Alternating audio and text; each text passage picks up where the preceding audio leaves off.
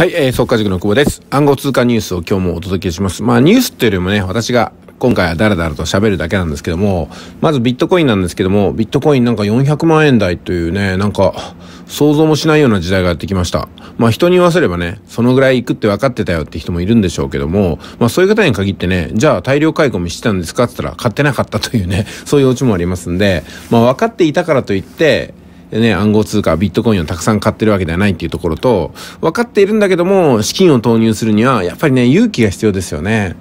まあ、こういうものってのは水物ですし、まあ、暗号通貨のことについてはまだまだね、全く分からないことが多すぎるんですよ。全くわからない中で、これを作った人ってのはね、どこまで頭がいいんだと思っちゃいますよね。サトシ・ナカモトって方の論文をもとに作ったと言われてますけども、その坂水、坂しじゃないや、坂、な、中本聡この方も、私ね、何人かのね、自称中本聡にお会いしたんですけども、なんかどれもあんまり賢そうじゃなかったのと、なぜかネットワークビジネスのね、なんかこう、ゲストに呼ばれてることがあったりとかして、それが仕事だって言ってましたけども、これ、何なんでしょうね。サトシ中本が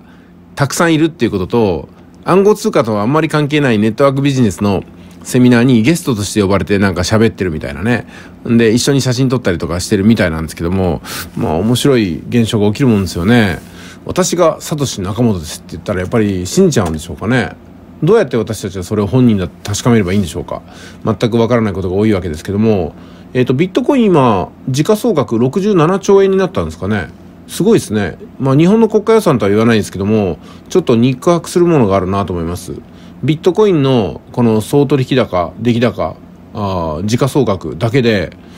なんとですね日本の税収を賄えちゃうみたいなことがありますけどもそれだけにビットコインの市場が大きくなったってことと一つあたりの単価が伸びたっていうことがね大きいですよね。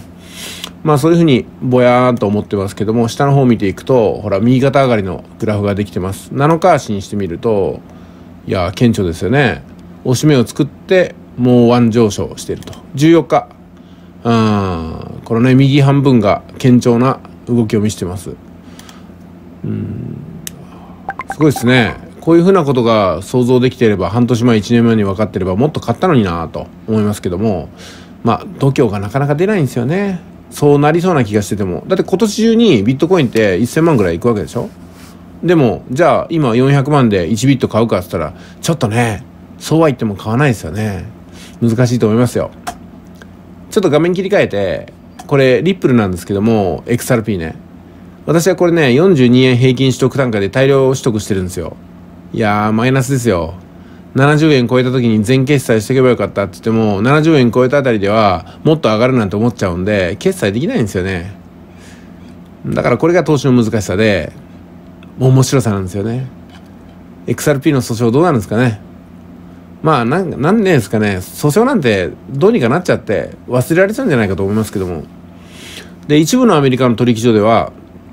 リップルの取引どんどんやめてたりとかね、コインベースさんとかもやめてるんですけども、なんというかね、ちょっときな臭いものを感じるんですよ。この訴訟が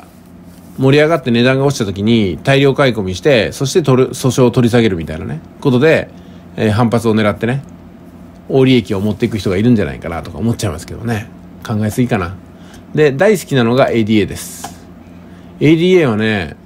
どんな特徴を持ってるかと言いますと、このチャールズ・ホスキンソンさんが、あの、自分の身分証明書もない、銀行口座もない、30億人の方たちのために使ってもらいたい次世代型の暗号通貨だ、みたいなこと言われてました。まあ、ですんで、これはね、次の時代にも通用するような暗号通貨 ADA だということで、プロジェクトを堅調に積み上げてるんですよ。で、特徴的なことは、大量保有者がいないってことなんですよね。これはね、小口の集まりでできてるんですよ。というのが、このあ ADA のウォレットの個数と、そこに貯められてる ADA の枚数でわかるんですよね。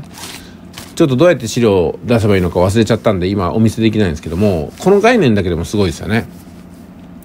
あの、少額フォルダ。あまあ、言ってみればね、日本でアテインコーポレーションが大阪で成立をした時に、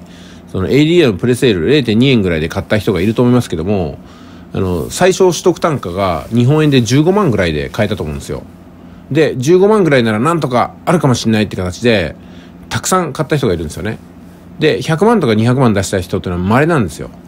うんだからそうなるとプレセールで買った人ですら最小単位しか持ってないと。その人たちがたくさんいて、A だという市場ができてるとしたら、